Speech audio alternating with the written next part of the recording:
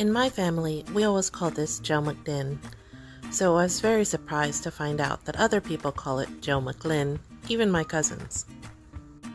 However you pronounce it, this is one of the easiest Lao sauces to begin with. If you have a jar of this in your fridge, a rotisserie chicken, a steak, anything really can become a Lao meal. Let's get started.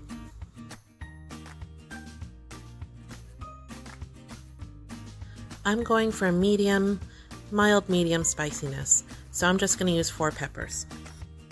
For the tomatoes, you can use just about anything you've got. Cherry tomatoes, Roma tomatoes, tomatoes off the vine, anything will do as long as they're nice and red. Try to cut everything about a centimeter thick so that it all cooks together at the same time. Have a big cookie sheet ready to go lined with tin foil.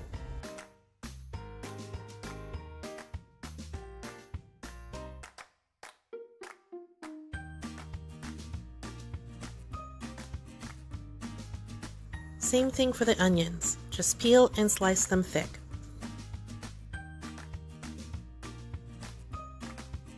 Here I've got one small yellow onion.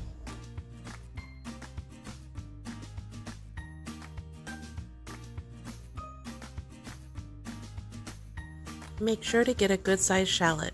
They really have a distinct flavor in this dish.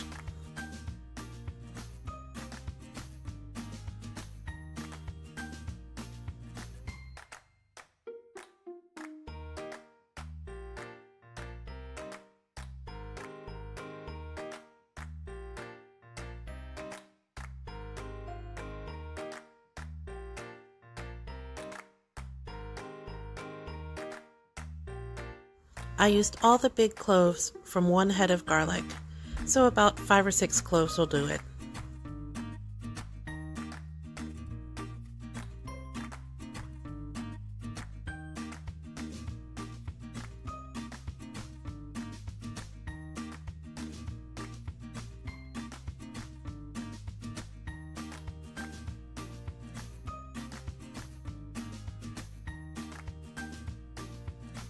This is what everything should look like spread out on a cookie sheet. See below for how long you should broil everything. Once everything is cooked to your liking, you need to put it either in a mortar and pestle or a food processor. First, pound your aromatics until they form a thick paste.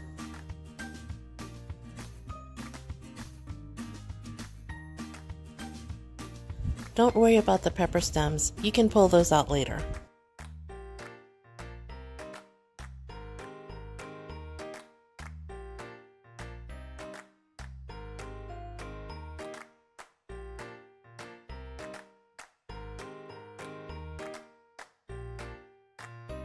When everything is pretty well mashed up, it's time to add the tomatoes.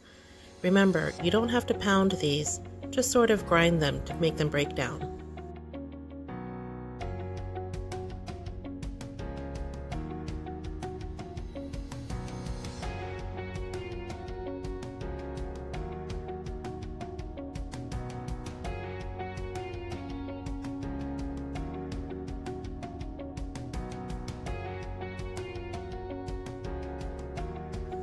For the fresh herbs, I use just chopped up cilantro and green onions.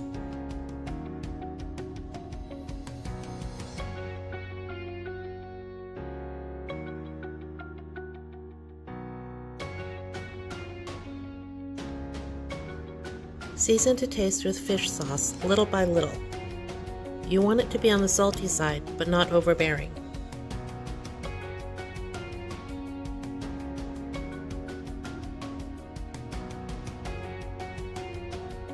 If you find it tastes a little flat, add some salt.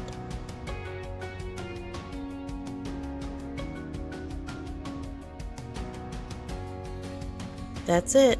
Put some aside to eat right away and put the rest in a jar to keep in the fridge. It's so easy to make, I've never tried freezing it, but you could probably do that too. If the tomato skins or pepper stems bother you, just pull them out.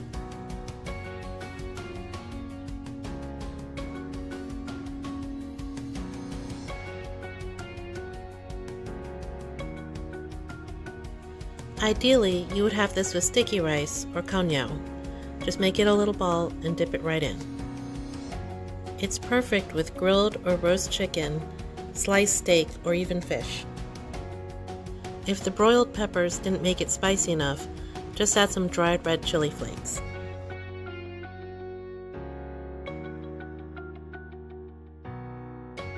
As far as Lao dishes go, it doesn't get much easier than this. Everything is supposed to be a little burnt anyway, so you've already got that in your favor. Leave me a comment and let me know where you're watching from. Kapjai Lalaida.